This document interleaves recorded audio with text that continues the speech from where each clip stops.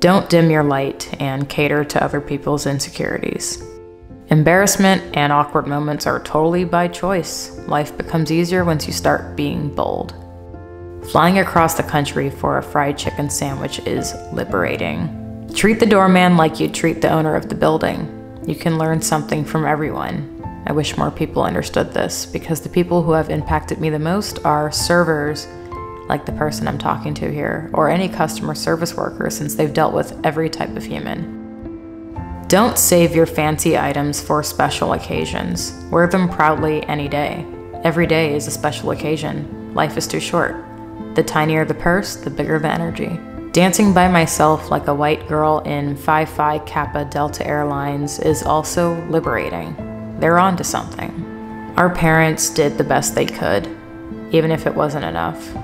And since I'm an adult, I can pick and choose my family Family includes those who love you unconditionally and respect you. Tell those people you love them more often. You never know how much time you'll have left.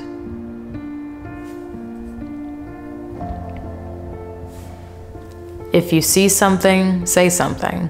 Too many people turn a blind eye to others because we're naturally selfish as humans, and people tend to ignore other people who need help, especially DV victims. For example, these two guys stepped into a bar in Boston when I used to live there, and a male subscriber followed me into the restaurant, harassing me, got in my face, demanding to take a photo. Yeah, my world in YouTube is kind of crazy. Well, they grabbed me and told me to sit in between them and defended me and made sure I was safe until I got home. Ever since, I've made it an effort to be aware of my surroundings and help other people. Be creative every single day, whether it's a big or small effort you must be creative. Cook more often and use your hands. I used to despise cooking, but it gives me a short recess from overthinking. Bad bitches need trees. This is a quote from my friend Juju. I think this is a dahlia. That's beautiful. This was a hard to swallow pill. A lot of people genuinely hate minorities like myself who don't fit the stereotype. But there's nothing minor about my existence. It's really powerful being a woman who's also black and free spirited and doesn't conform to what other people think I need to act or be. I can be anyone I want, and I will be a president if I wish. Maybe not. I don't really like paperwork, but I have a lot of tweed.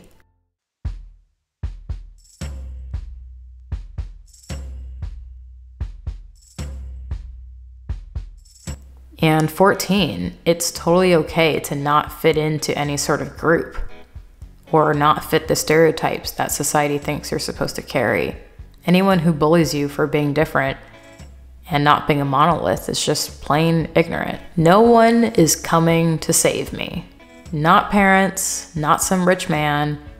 Fairy tales do not exist. And if you do marry for money, you will earn every penny. So I've learned to build a life around myself, and you have to be extraordinary to enter mine.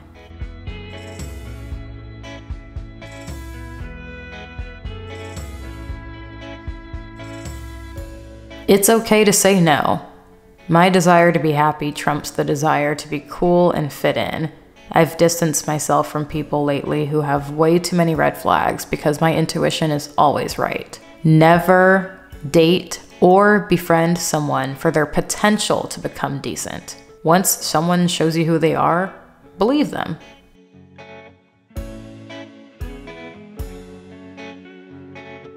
What's good for someone else may not be good for you. For example, college.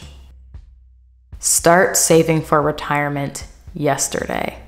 Even though I wish to go spend thousands of dollars on more Chanel and other brands, I have nestled myself into an affordable home below my means and invested in another home. My only priority is happiness, and unfortunately, let's be honest, a lot of that comes from financial freedom. Slow down to speed up. Be vulnerable and don't miss out on opportunities because of fear. Maybe it's romance. This was a quote that I saw on Reddit, which is always a credible source of information. Regrets are a waste of time, killing you in the present. I dodged a bullet by dropping out of college. College is useless if you don't have charisma and drive to back it up. College can only add value to me. It will not make me a better or a smarter person. Envy is an ugly, ugly monster. It's okay and natural to be jealous, but have control over your emotions and look at your own ugly inside. Being a woman is not easy. We carry the weight of the world on our shoulders, and we are expected to just carry on and pretend like it's all good. But it's okay to not feel good some days. It sucks. It sucks even more that now I am beginning to understand where older women are coming from who claim that men start seeing them as useless after 30 or 35. You are never useless. Don't listen to unhygienic men. Don't settle. If something doesn't feel right, it probably isn't.